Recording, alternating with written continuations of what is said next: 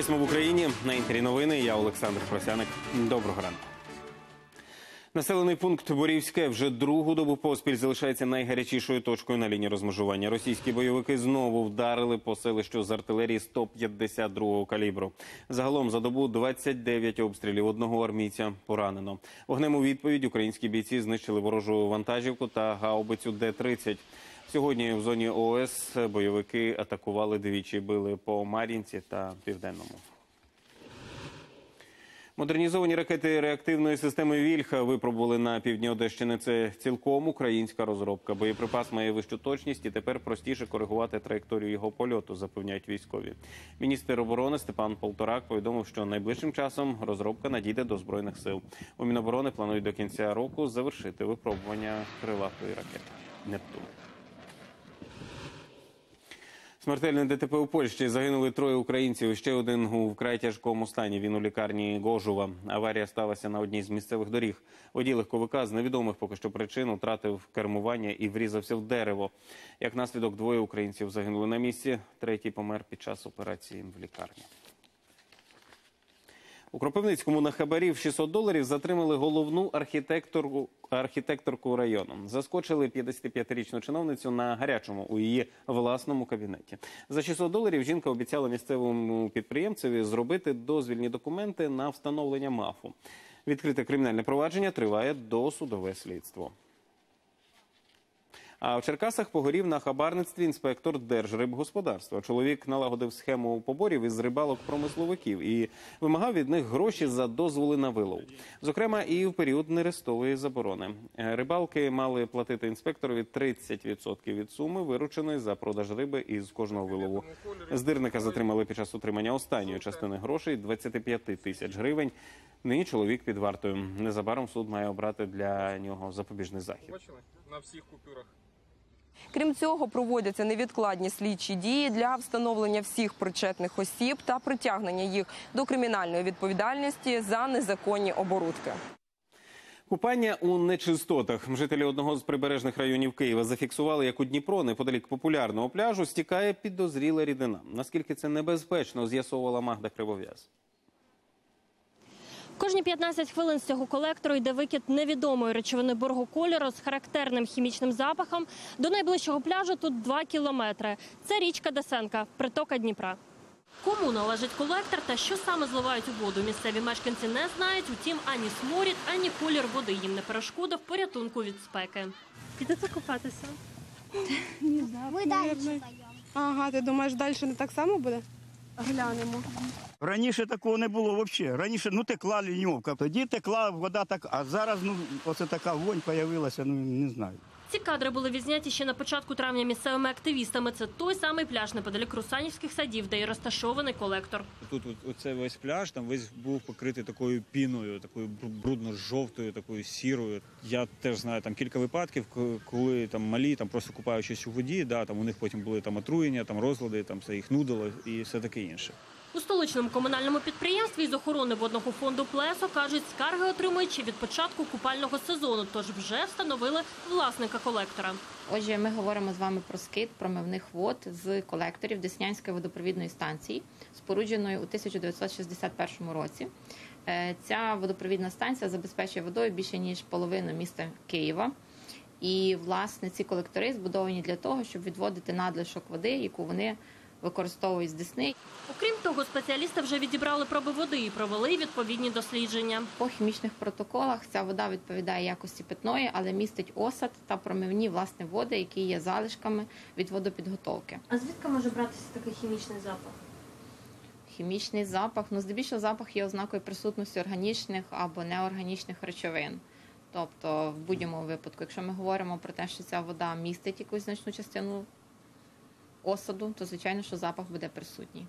Аналіз води провели у Київській службі порятунку. За результатами вона відповідає нормі. Утім, як і плесо, технічних можливостей дослідити осад не мають. Примітно, що у Київводоканалі у відповіді на наш запит ці викиди називають забруднювальними речовинами. Пояснюють, мовляв, осад з'являється під час очищення води, яку вони беруть у Десні від органічних та бактеріальних забруднень, а потім скидають усе це у Русанівську протоку згідно з проектом. Магда Кривяс, Олексій Шматов, новини, телеканал Інтер.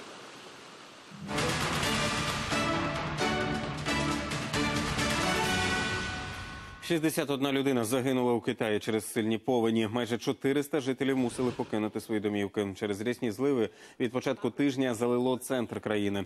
Зруйновано майже 10 тисяч осель, підтоплено близько 4 мільйонів сільгоспугідь.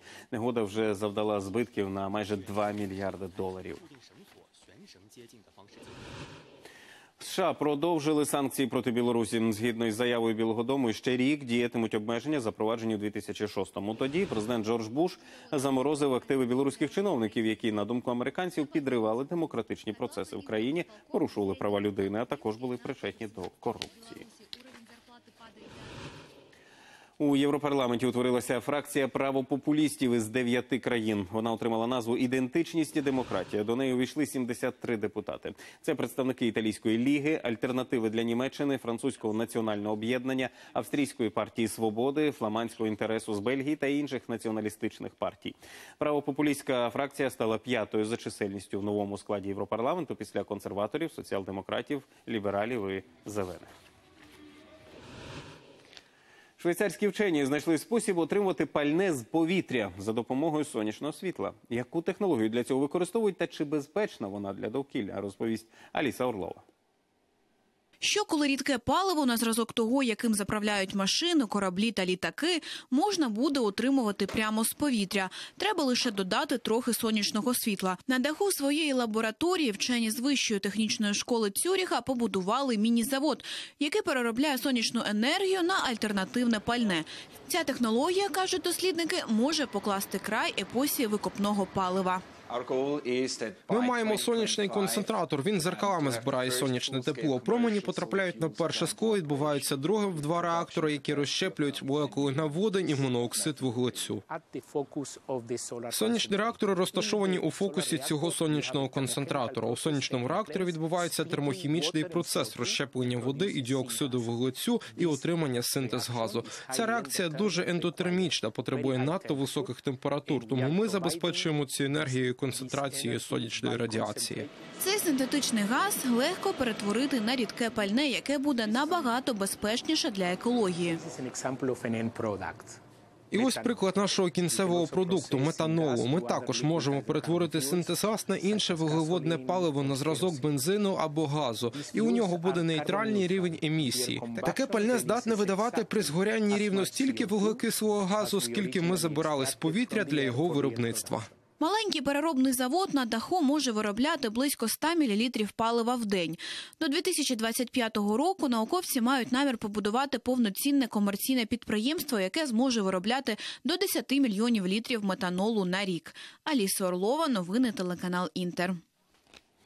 У прохолодних ваннах від аномальної спеки рятується родина бегемотів у сафарі-парку на півдні Чехії. Спеціально для них тут викопали штучний ставок. Семирічна самиця Мона доглядає за своїм первістком. Поруч із ними бавиться і шестирічна хула. Вона теж нещодавно народила малюка, але він не вижив. Обидві гіпопотамки, за словами зоологів, проявили себе як дбайливі матусі. Тато на ім'я Майк, якому вже за 30, спостерігає за усіма на відстані. Коли вони знаходяться у великому просторі, який нагадує природні умови, ведуть себе подібно до гіпопотамів в Африці. Протягом дня відпочивають у воді, а ввечері та вночі ходять і пасуться на суші. Музей фруктів відкрили в Лос-Анджелесі. Він уже став одним з найпривабливіших місць для креативних селфі. У приміщенні вісім яскравих інтерактивних майданчиків, кожен присвячений конкретному фруктові. Тут і гігантський банан у рожеву цяточку, і гойдалка у вигляді скипки кавуна. А ще й відвідувачів частують екзотичними фруктами та морозивом. У Голлівуді виставка прийматиме глядачів до кінця липня, а потім її хочуть показати в інших штатах.